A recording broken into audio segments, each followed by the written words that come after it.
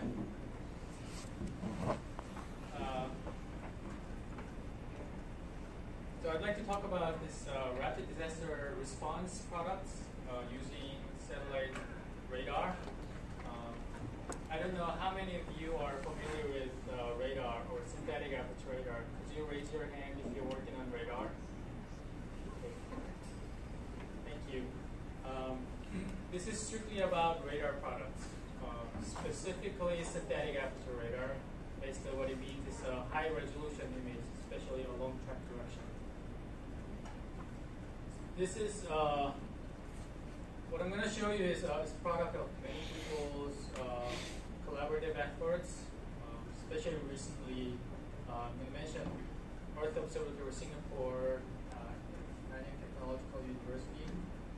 Uh, Lina Lin, uh, Dr. Lin uh, recently moved to Taiwan, Academia Sinica. Uh, we've been working, uh, we started uh, collaborating when she was at the US.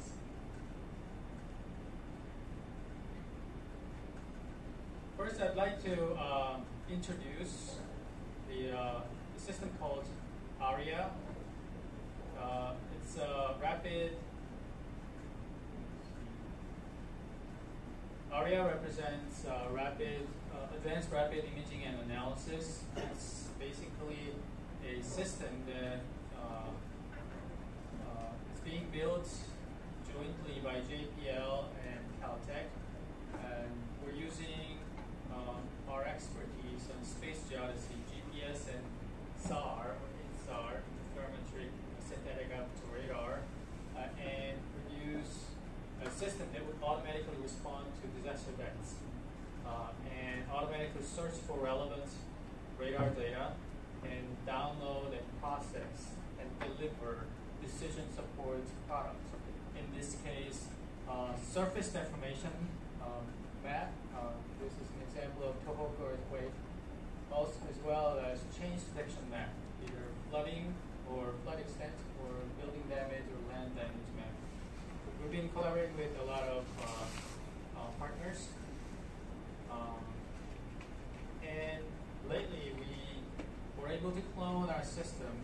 Um, one system is in, in California, and we cloned our system in Singapore there are many, uh, on top of collaborative benefits of the two institutes, JPL and uh, NTU Singapore, there's also a, a, great benefit of having this system, a redundant system, in a geographically far uh, distance location, because we can take advantage of this time shift, as well as um, California is also, just like Taiwan, also a disaster prone area. We're waiting for a big earthquake. So if the earthquake hits uh, and the damage the system in California, we can still function with this clone system. Some statistics of natural disasters. I I think I don't need to explain, elaborate on, on these numbers. Um, um, given that Taiwan has been experiencing a lot of different types of um, disaster events, um, but basically uh, the number is alarming. The number of, people affected and uh, the economic loss compared to 2015 and 2016 is, basically double. So uh, even though there aren't many people who are familiar with radar, um, you all know uh, the optical imagery, and you all know that there are clouds. It's cloudy today. And this map shows an average cloudiness of April 2015, the global map. And you can see uh, you have slim chance to have cloud-free uh, sky. And on top of that, with optical sensor, you have to wait for the daylight to uh, make a reflection of your target. However, uh, radar doesn't have that issue. That's uh, one big benefit of using radar. Uh, basically, it's an electromagnetic wave. It's a light source that you can, we cannot see. But um, it sees through clouds, and with an active sensor, you can image day and night. So that's a big advantage for uh, uh, rapid disaster response. Then you would ask this question of, okay, radar is how long do we have to wait? Uh, and this plot shows you the expected wait time uh, anywhere on Earth.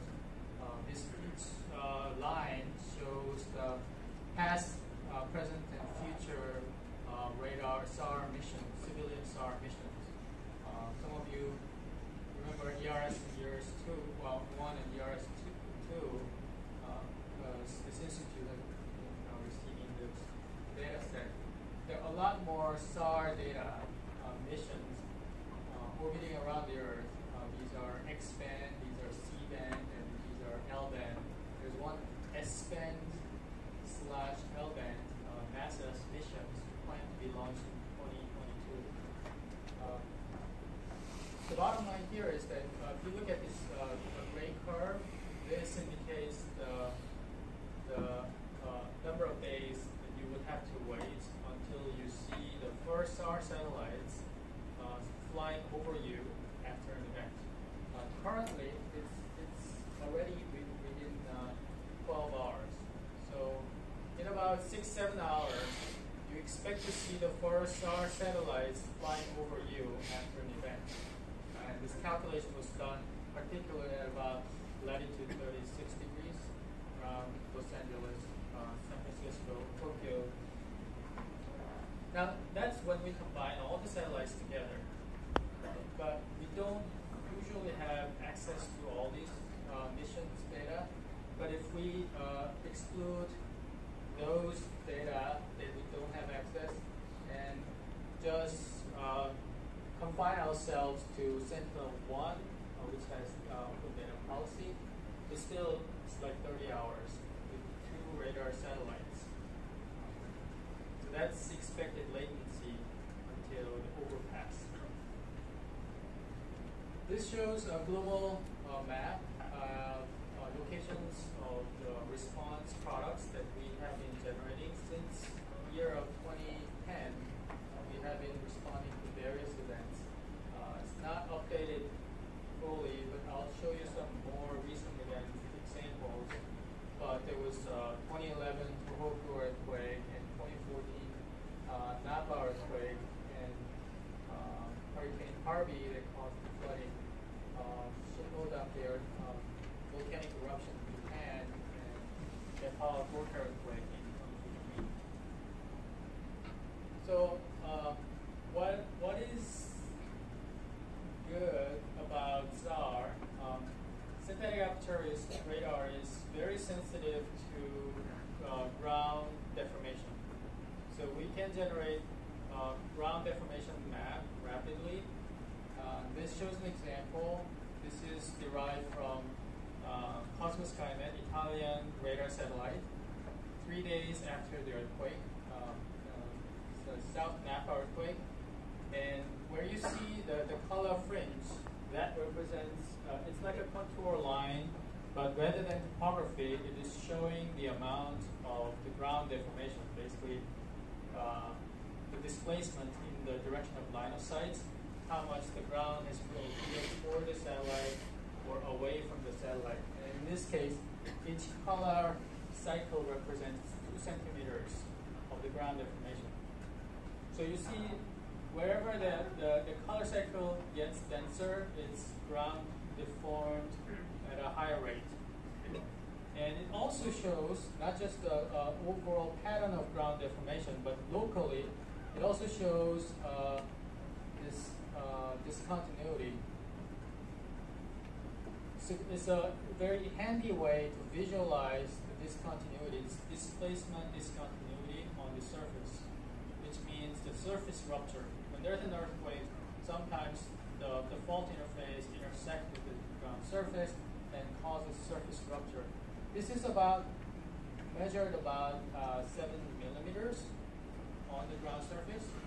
So it's an amazing tool that the satellite orbiting around the Earth at about 800 kilometers above the ground and can still measure a millimeter scale of uh, the surface structure.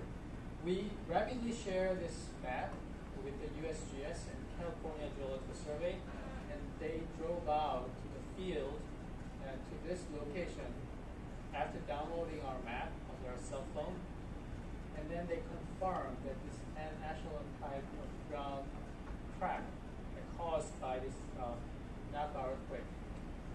It would be almost impossible, even if you were there, if you didn't have this information and the confidence to look for the ground evidence, it would be possible to identify that with all these other cracks, aging, also um, you have to really stand in the right direction to identify this type of crack.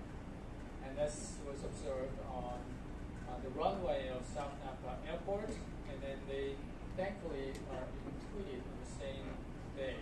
So, so it was a good example of uh, the use of INSAR. But the implication of this is that you can use this type of information uh, for quickly identifying, for example, lifeline damage or road damage. If there's a surface rupture, uh, and the rupture size is big, then probably the lifeline going underneath would be uh, damaged as well. So that type of information or map is currently being automatically generated uh, by our system.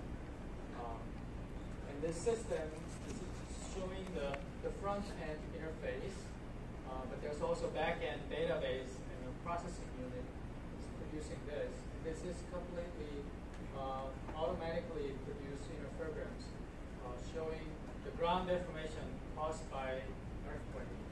And uh, it's triggered by the USGS NEIC, uh, National Earthquake Information Center's email trigger or PEL trigger.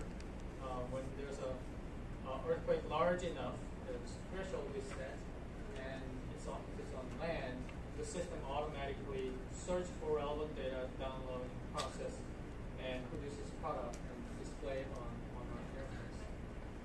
And uh, the ARIA system cloned in Singapore um, successfully uh, produced this text data set. It's the same interferogram, it's just that there was no earthquake in between these two SAR image and, but it's showing probably atmospheric uh, uh, delay variation.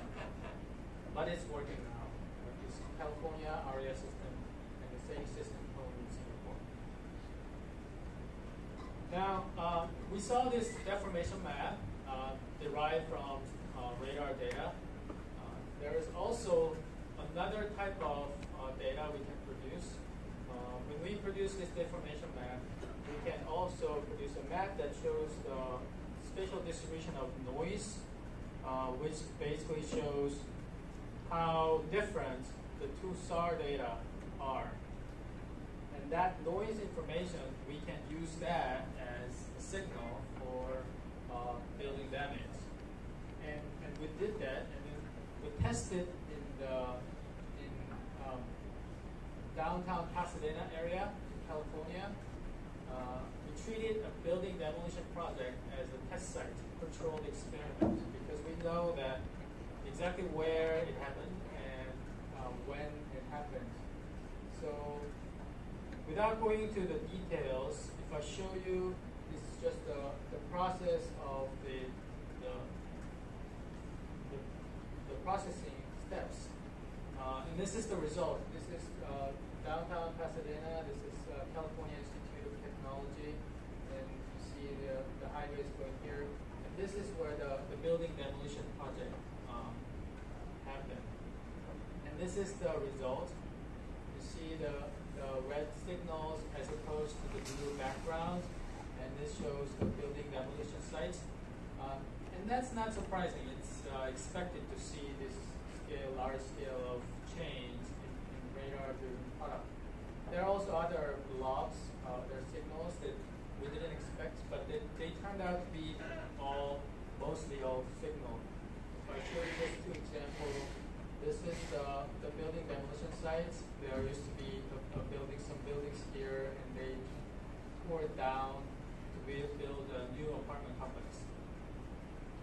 And if you see this, uh, the pixel size is large compared to optical imagery, which is um, easily like sub-meter level resolution. But this pixel is like about 30 by 30 meter. But what is important is that this pixel, uh, the radar signal is because we're using a coherent signal, uh, almost identical, uh, almost just constant frequency. We can take advantage of that phase information, statistical characteristic of phase information, and make it very sensitive to what is changing underneath this pixel. So we can we only have to look at the, the pixel value, the nominal pixel value in this intermediate product.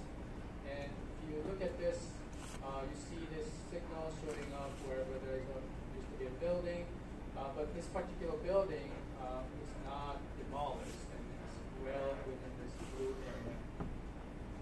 Another example is this is a single family uh, house um, that used to have this um, dirt background and they added a room. This room expansion project was detected by this Japanese radar satellites. This room is very small. It's like four by seven meters. You can measure the size in Google Earth. But and then again, the pixel size is much larger, but it's sensitive enough to detect this type of change as well.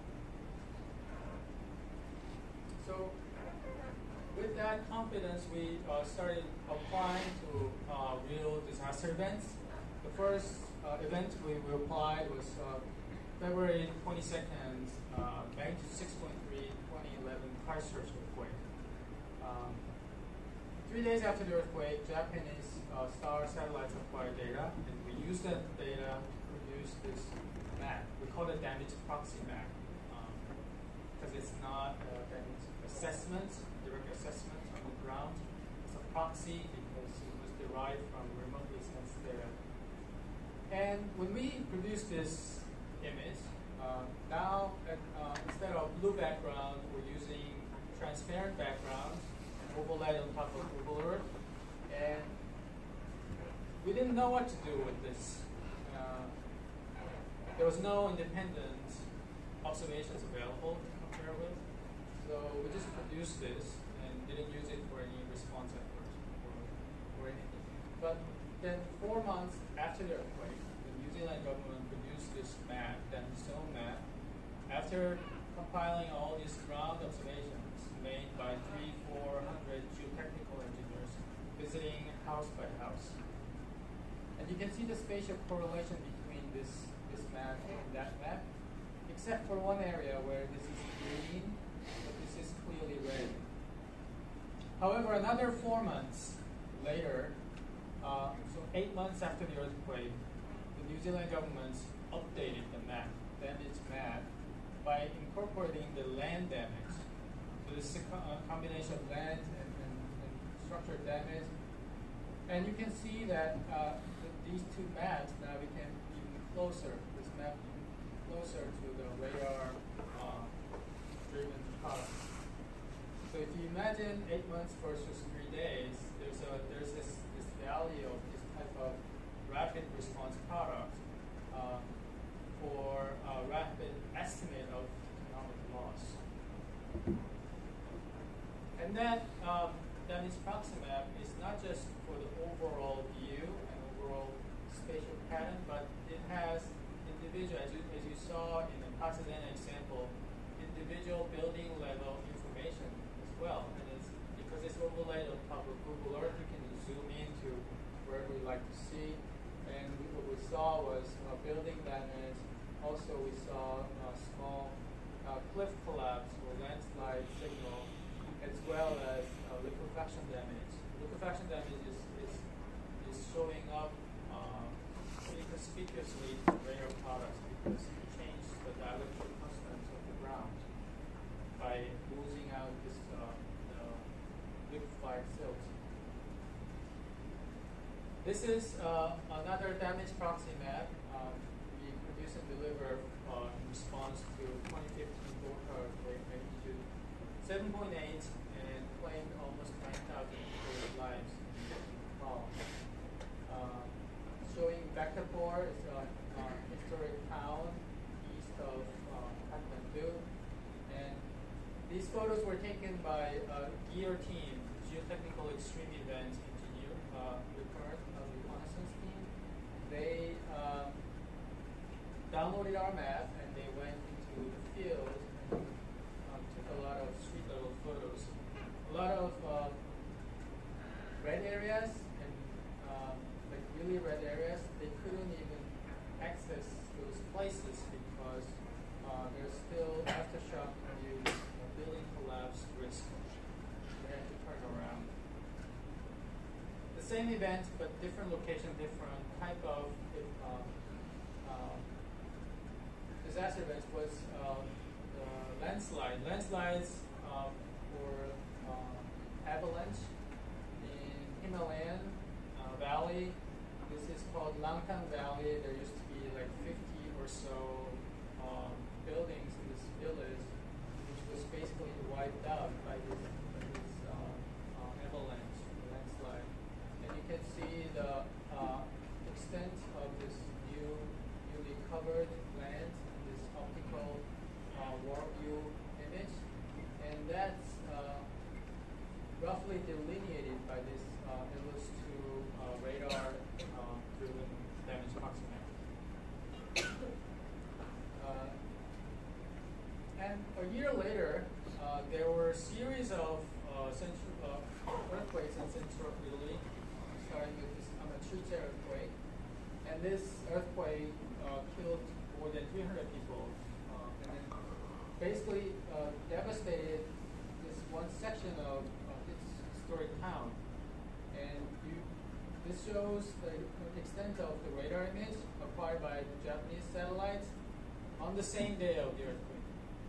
It's uh, August 24th of uh, 2016. And we, we produced this map and waited for this uh, Copernicus map. They produced this map using before and after Pleiades uh, high resolution image, uh, Pleiades and aerial photo, and produced this color coded uh, polygons. And three days after the earthquake, this is the extent of their product. It's limited by cloud-free sky, and also limited by the uh, number of uh, people they have. They have a group of people, multiple shifts, uh, working day and night, uh, visually inspecting the before and after optical images. But we use this uh, this information to calibrate our product. This is from Japanese SAR data. This is from Italian SAR data. But the importance is that once we gain the capability of rapidly calibrating and validating the radar data, we can quickly produce the same fidelity of the product uh, for the entire footprint of radar data. And for example, if you zoom in in a very remote area, you can get an information, an idea that, oh, this remote town must have been affected by this earthquake.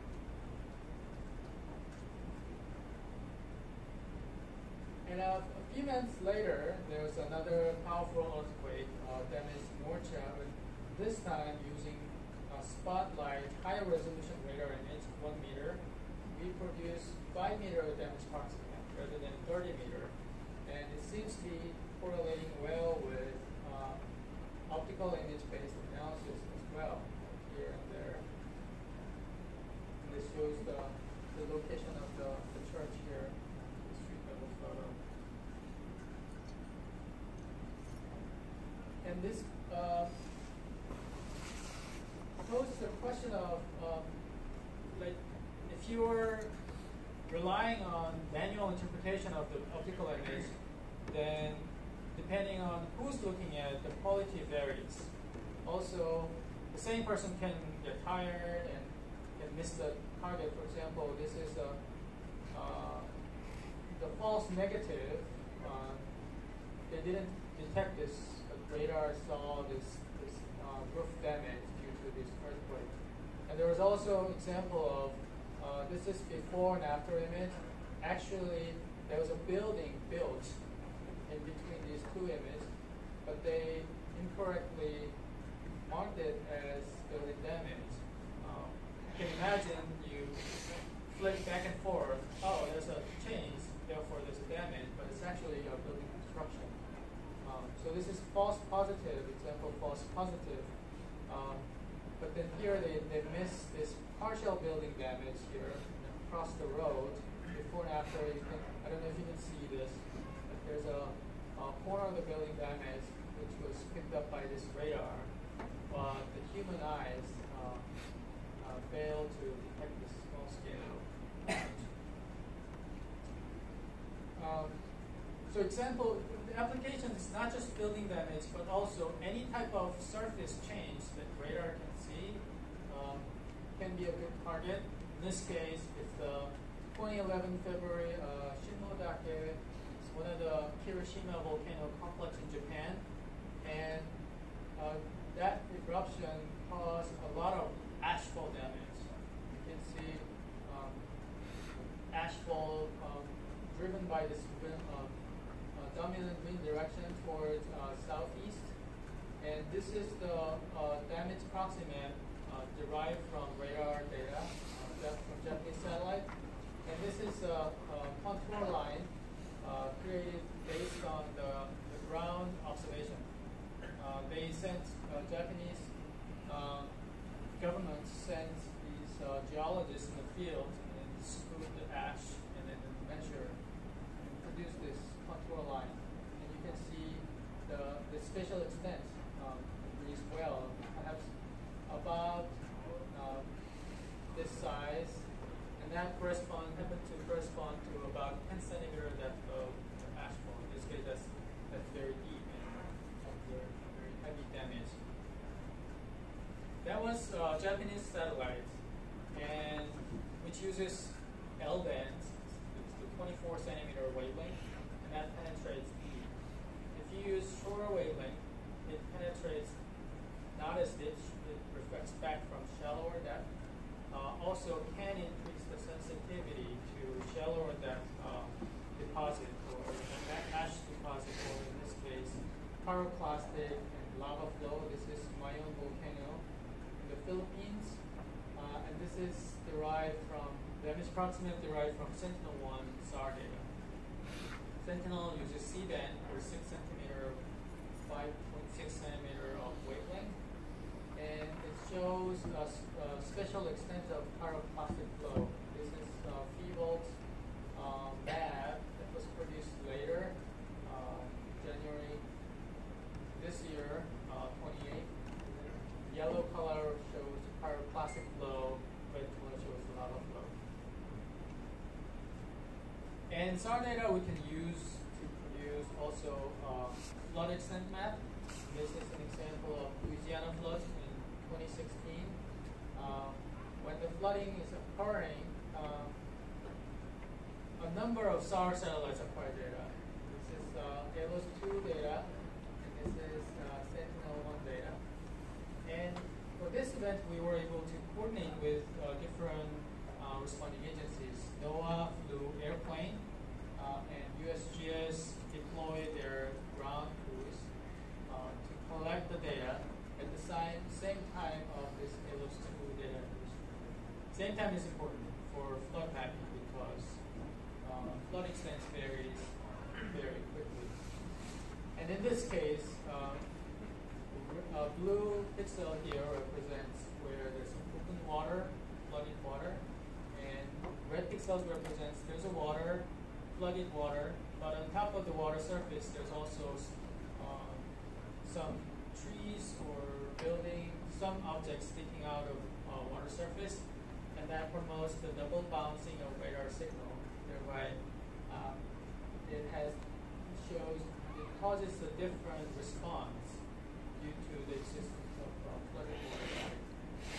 And this shows example of um, the aerial photo that NOAA took. And you can see the challenge, even with cloud-free aerial photo, very high resolution, 30 centimeter resolution, and four channel, RGB and near infrared, and produces false color image that shows red representing the vegetation, and the turquoise color represents the, water. Um, the challenge here is um, you can see in this part is probably dry vegetation, just plain red. But you can see the hint of turquoise color in between the trees. So probably this area is flooded, uh, but the water surface is covered, obscured by the tree canopies. So even in this perhaps one of the best case scenario of optical imagery, it's very challenging to delineate the extent of flood water. So, so radar may have better hope for that, uh, well, depending on, depending on the wavelength. But uh, we tried and then worked with the USGS. What we asked was we asked them to collect the location information, uh, latitude and longitude and timestamp of, of their uh, observation of water boundary, because that's what matters. We are using water extent map, and they did it. And we use one of these points, data points, um, to match. So we, we determine the thresholds, we play with the thresholds, um, and we do that, this red area wobbles, and we will stop when it matches one of the, the data points here. And then we saw that all the other data points automatically matched our radar-driven observations. Um, there may be right, that this may be accurate or, or, or wrong, but at least this shows some some sense of internal consistency. They even took photos on the ground um, that shows that what the water boundary looks like. Uh, however, it took a lot of time for them to send their ground observation record. It took three days, and each people made slightly different formats. That that also caused some some mistakes in conversion. So we recently developed this app that shows uh, it- it's a mobile-friendly web app that shows the uh, uh, a very simple interface. If you see water in the, in the field, uh, what you do is create a, a, a, a marker that represents the, the dry land and represents the, the water body and uh, represents the, uh, the boundary. You can update the location of the boundary. You can click and add photos if you like, or add some annotation. And by doing that, in the field, the latitude, longitude, timestamp, and uncertainty radius of each marker shows up in real time in Amazon Cloud. So I can quickly, in real time, access that data as the data are collected. So we are hoping to use this type of approach for future response.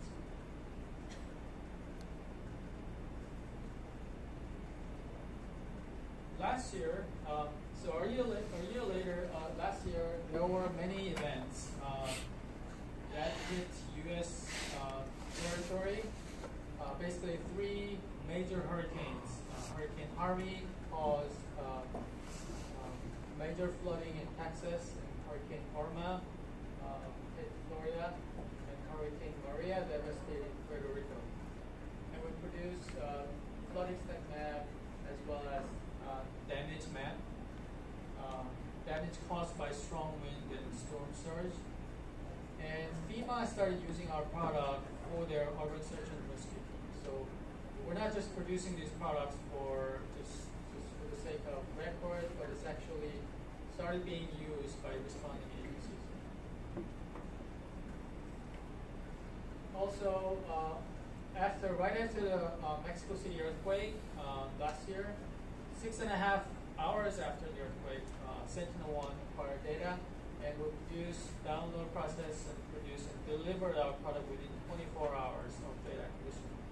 So, so that uh, statistical calculation of latency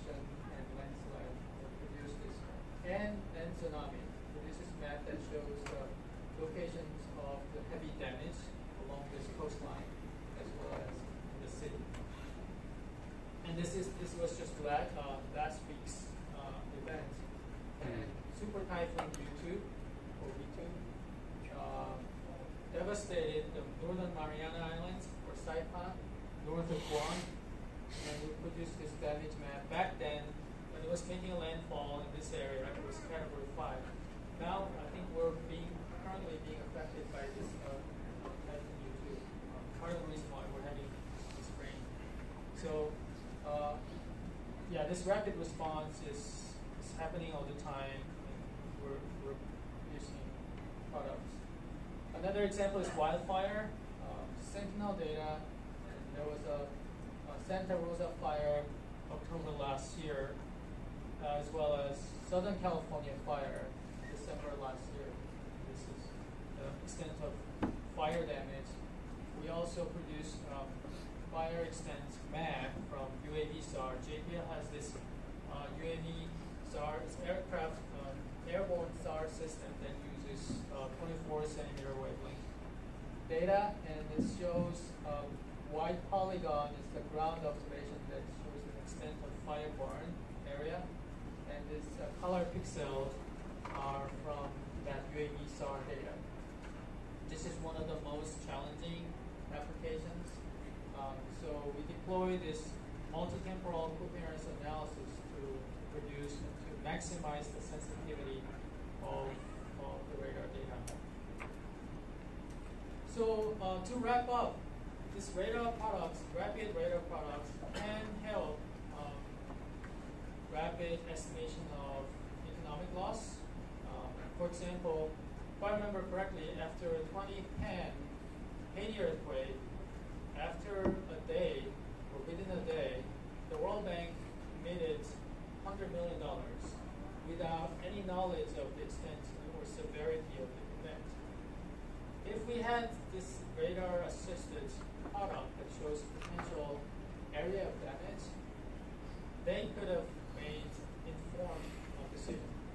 Like, and for example, uh, the Christchurch earthquake, this is the damage, uh, land damage map, uh, color coded. There's five, uh, six different levels of damage, and for each category, we cookie up this area and plotted the histogram of the damage approximate, the, the pixel values. And this is the histogram, normalized histogram. And you can see, so ideally you would see blue curve on the left and red curve on the right with no overlapping. But of course, any observation has its own um, uncertainty error. And because of that, uh, there's an overlap. But what this shows is that perhaps not all six or five different levels of damage, but perhaps three different levels of damage can be deduced and translated